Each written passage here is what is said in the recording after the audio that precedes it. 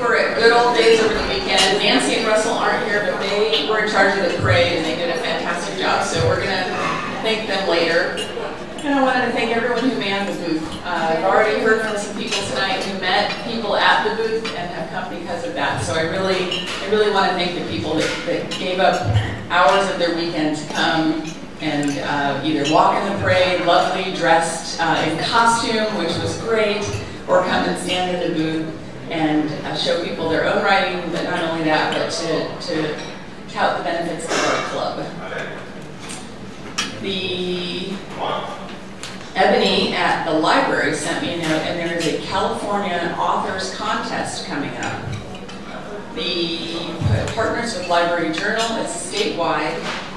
It's only for self-published young author, young adult, and adult fiction.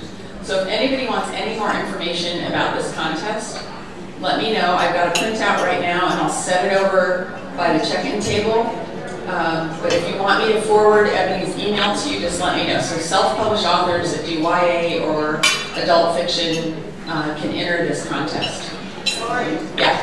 Um, Russell and Nancy gave me the prize for the best question at the parade. Oh, well, let's do that now. Okay, so Russell and Nancy, who really, really, really love to dress up, convinced everybody that was going to come and walk in the parade to uh, dress in costume, at least most people. And she asked Patricia to present something. So here you go. Thank you. Yes, it was a great, good old days turnout. We had a lot of fun at the booth, and uh, we had some T-shirts made up, which I brought one tonight that are available at Bookworks. We sold more T-shirts than books, so that was good. It was a trial run for us. Anyway, I'll just uh, read this note from Nancy because she couldn't be here. Sorry we can't be with you this evening, but we're in Yosemite, celebrating Russell's birthday as we do every year. Many thanks to Patricia Hamilton for graciously agreeing to step in. And she made me promise not to open it, which I haven't. Check the seal. Still, still, still, Well, like the Academy. yeah, without further ado, the winner for Best Costume in the Good Old Days Parade 2018 is... LA Story. So sad.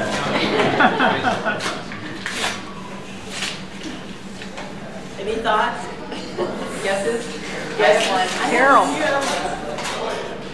Or Dennis. Okay, it's got a writing spider on the front, so the card is uh, good.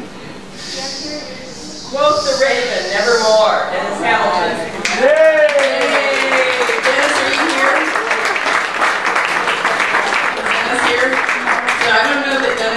Tonight, but Dennis was in full regalia with a raven puppet as Edgar Allan Poe walking down the streets of Pacific Grove for the good old days parade. Okay. And he will get A bottle this of bottle Prosecco. Prosecco for being the winner. And So- should I put these over there? Yeah, put him over there and we'll, we'll get it to him. Okay, thanks so much. Okay, uh, one more late announcement or recent announcement. Julie Hanks is doing a book signing for a book called Lost in Time. Is that right?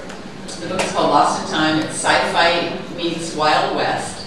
It's this Saturday at Kelly's Bookstore at 1838 Main Street in Watsonville from 1 to 3. So if anyone is on that side of the bay or going to be traveling over there, um, Julie Hanks, one of our members, book signing this Saturday at Kelly's Bookstore, Watsonville on Main Street from 1 to 3. And congratulations for having the book to sign, which is fabulous. I'm not going to make you clamber out from behind that table because that would just be too hard. But for all of the members here, they know Ken. Ken is the past president of the club. He's our webmaster. He runs a fabulous website. He puts in numerous hours to make sure that things are updated on the website, that Submittable is open for the students, that we have PayPal up and running when we do workshops. And he is, um, he's a dude, so he has to work with a bunch of women. I feel bad for him all the time because we're like, maybe if it was just a little bit more pink, or maybe it could be a little to the left or a little to the right. He's just such a good sport. So we've got we've got something for you uh, to say thank you. So I'm going to just hand it to you.